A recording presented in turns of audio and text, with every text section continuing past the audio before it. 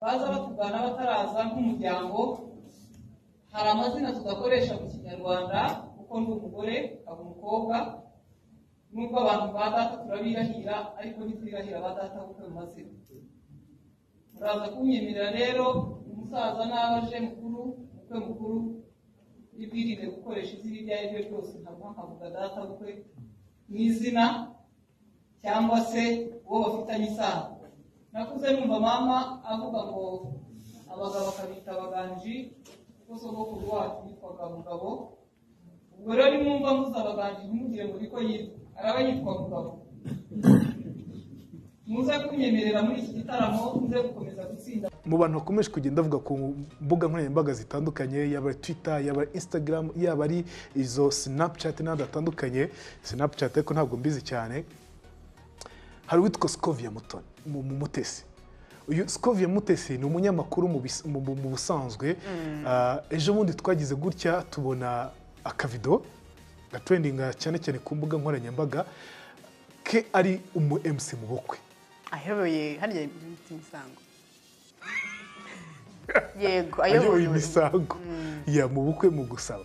Tumenyere ko abantu babikora kenshi usanga ni ah, abagabo. None kubona umugore wayoboye imisango biri perfect. Biri nta makemwa biraryoshye cyane. Ariko ku rundi ruhande harimo ababireba bakavuga bati none uyu mugore ni igishega. Bakumva ibiganiro bye bati none uyu mugore kuki avuga gutya? Twaganira kugira ngo tubwire byinshi cyane ku byerekeye n'ubuzima bwe tubwire uburyo abikora ari umugore. Ese hari ibyo ahuramo na byo bidasanzwe ku buryo umugore kubyinjiramo byamugora? Twinjire mu kiganiro cyitwa umutumirwa.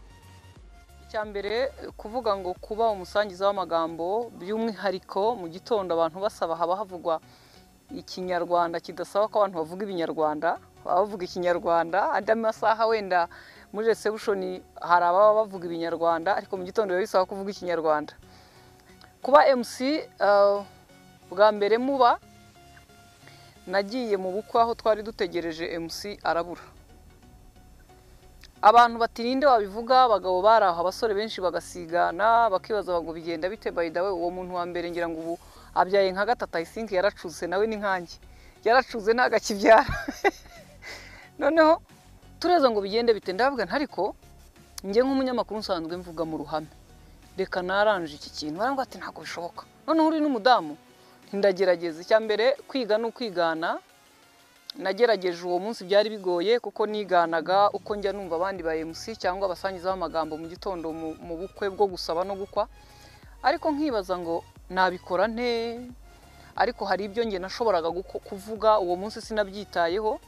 Ariko mbona uburyo abantu babikunze abantu bakambwira bati duhe nomero natwe uzadufashe.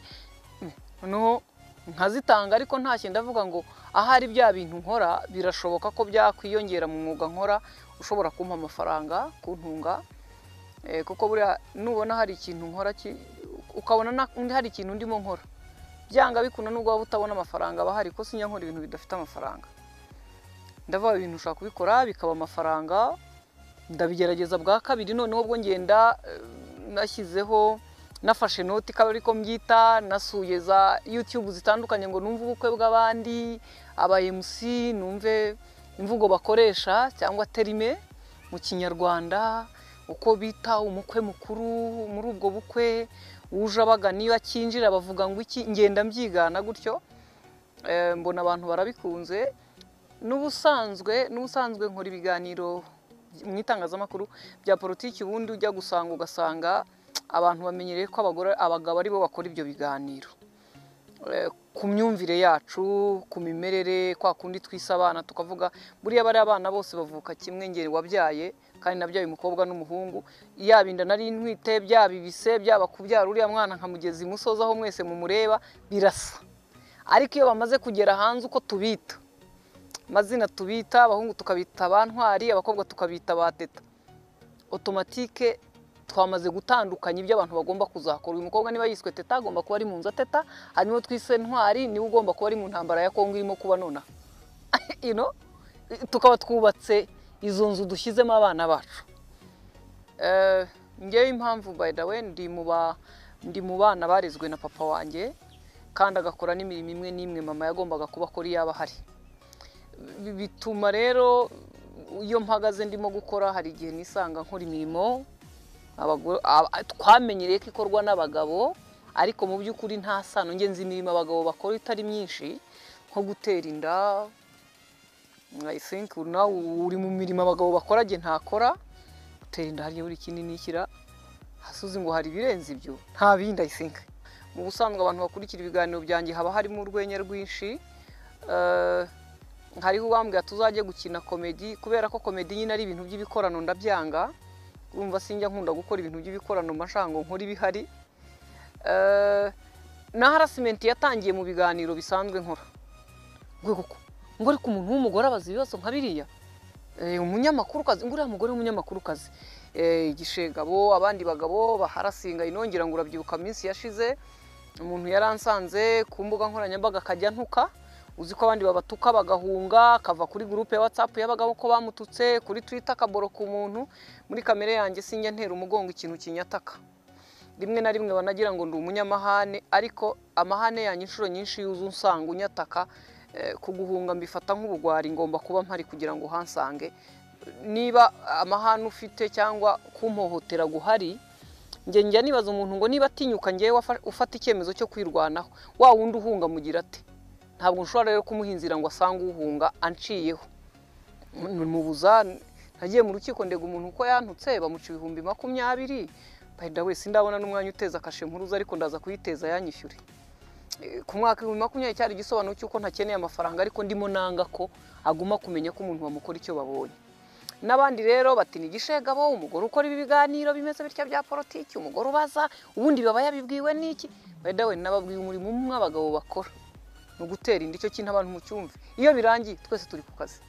Ni nk'ukuntu nyine gusama nkabyara nkonsa umugabo atabikora. Ibisigaye byose bya bindi mwita iby'abagore umugabo arabikora. Kubera ko ibi mutwigiraho hano iyo mugeze i burayi murateka mugakoropa musigarana abana kuko ntushobora kubona icyo wishyura umukozi ukora ibyo. None se muri hoteli murateka muramesa murasasa uburiri bwa hoteli ni- buto ugereranyije n'ubw'iwawe amashuka usasa iwawe ushasa amahema kuri hoteli ushasa amashuka. Jyasi ni imitekerereze. Iyo mitekerezo niyo ntemera ngo igihe cyose niyo mpamvu nakubwiye ngo nubona hari icyo nkora ujye umenya ko gifite inyungu. Umuntu uzabona nkora ikintu kigomba kuba kiri sosiyale ku rwego rw'uko ndimo gushaka kuba hafi y'umuntu utameze neza gusa. Ariko iyo bitari ibyo ibisigaye byose ni amafaranga. Havuyemo n'iki kiganiro ndimo nta kuri arabiye namwe ntimwanyishyuye. Way ariko kubera ko ari umunyamakuru nzi ko amakuru atagurwa mu itegeko bibuzwa niyo mpamvu ndimo kuvuga ibi. Banyita ayo mazina eh, ikindi kintu abantu batangaje bavuga ngo mu muco. Umugore ntavuga mu bukwe eh, urabona iyo wabaye musuba uvuga amazina y'abantu eh, jye kuba ndi umugore ubwabyo mu muco wa kinyarwanda hari imiziro bimpa bivuga ko umugore atavuga amazina ya ba nyirabukwe ba sebukwe n'abandi. Kandi aho ngaho tuba dukina rero yo kuvuga ngo hari data ah, hari abakwe baje batugana harimo umubyeyi ubwo deja namaze kwimuka mpagarara muri zone ivuga ko ndi umugore utagomba kuvuga amabukwe na data bukwaho cyangwa andi mazina afitanye isano n'ayabo ndabitekereza ndibaza ngo nzabigenza ariko nibuka ukuntu kera eh, iwacu n'ubu baracyahari dufite ababyeyi imiryango adashobora kuvuga abakobwa. Kuko umuntu iwabo muri ba nyi- bari bafitanye isano na nyirabukwe n'andi habagamo wenda nk'uwitwa nyirabakobwa ubwo icyo gihe abakobwa bose akabita abakesha ijambo ryitwa umukobwa n'iyi si yagwa ntarivuge. Mu bukwe iyo mpageze rero nkasanga eh, mu bukwe mperukamo ku wa gatandatu harimo umuntu witwa Nabahire yari umukwe mukuru waje gusaba. Eh, nagombaga kutavuga ko mu rugo hinjiye Nabahire kuko na- nakinaga rero yuko ashobora kuba data bukwe cyangwa akaba afitanye isano nawe nkajya nka- ni bwo nateraga inkuru mbabwira ukuntu umuntu umwe ngo yajyanye umwana kumwandikisha mu irangamimerere umwana yitwa Nyirakanyana way hano ho ndabivuze hariya nari nabitsinze abantu bakajya babyivugira. Eh, ahageze abwira uwandikaga aramwandika uwo mwana amaze ati umwana yitwa nde?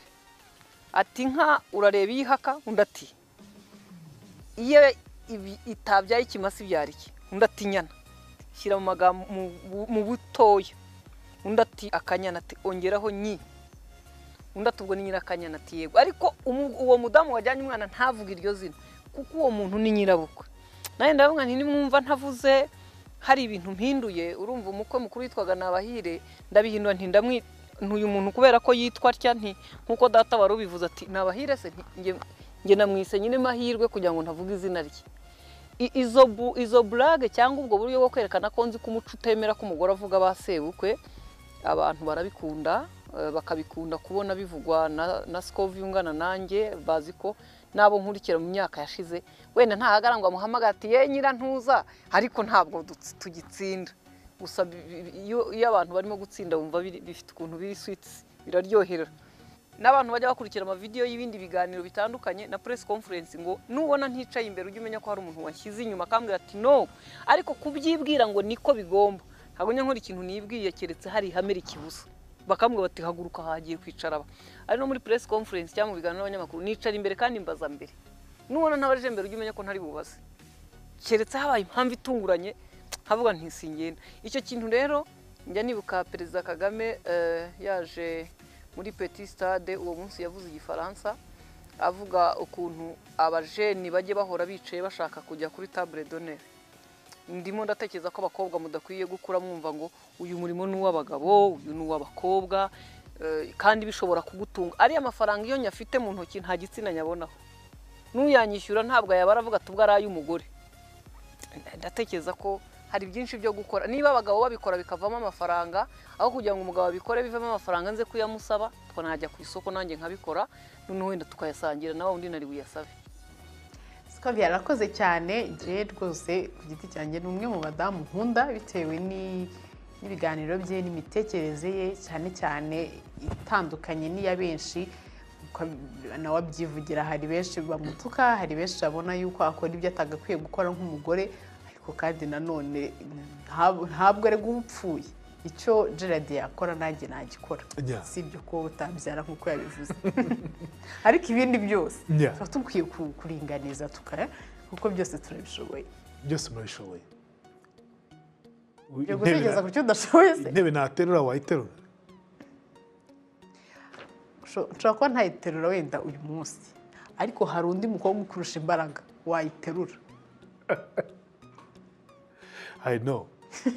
Ibyo byo ndabyemera ijana ku ijana. Rero ntabwo twabigerageza mu mbaraga ziri fizike ziri fizike kuko ushobora gusanga nanone hari undi nanjye narusha imbaraga.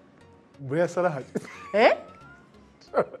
Gerard, uzi ko nawe ushobora kuguterura. Oya. no kuyikorera. Eee ariko uzatinya umugore. Uzamutinye. Umugore? Kurumva si icyo kugira intambara oya ntabwo ugomba kumutinya. Umugore uza- uzatwita umwana akavamo umuntu w'umugabo. Amezi icyenda agashira.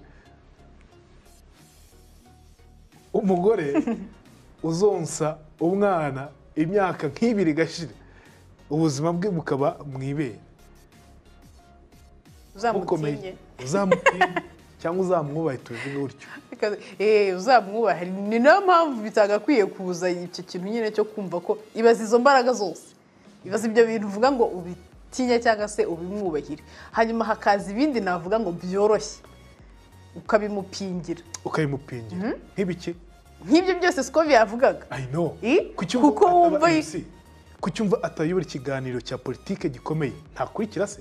Afite ubwenge se. Byumvikane ko rero hari utuntu rimwe na rimwe turi mu muco wacu twagakwiye kugenda turandura. Ntiyumve ko umugore ari wa muntu ugomba kwicara inyuma ujya ubibona ariko mu bukwe? Ntabwo ari byiza reka ariko ntabwo biri feya ugasanga abasaza nyine bicaye imbere abagore cyangwa abakecuru bagomba kwicara inyuma. Ni umuco Gerard juste ni umuco ariko rimwe na rimwe hari umuntu witwa uh, ingabire marie immaculee turamuzi cyane ni umwe mu badamu bavuga ari kwijyana hano mu gihugu ikiganiro nigeze gukurikira cye ariko tuzanamushaka tu- tubiganireho. Ati kiriya kintu ntabwo nyemera ni gute ushobora kumbwira ngo abagabo bicaye imbere abagore bicaye imbere? Abagore ntabwo babyaye. Ushobora no gusanga n'umwana uri aho ngaho umuntu umufiteho uruhare rukomeye cyane ni umugore. None uzi ukuntu. Nyine narabyifuje ko ngiye byaba mu buryo butagenze gutyo. Yewe. Mm? cyangwa se mu buryo mu tumenyeye bukwe bwawe. Ntumenya ukuntu byagenze. Byanze bikunze birangira. Bari inyuma. Kandi abo bari inyuma nibo ukeneye nibo bafite agaciro mu buzima bwawe rimwe na rimwe n'abari imbere ni aba onkire mutaziranye. Uzi uzi uzi uzi ikibazo kibaho se?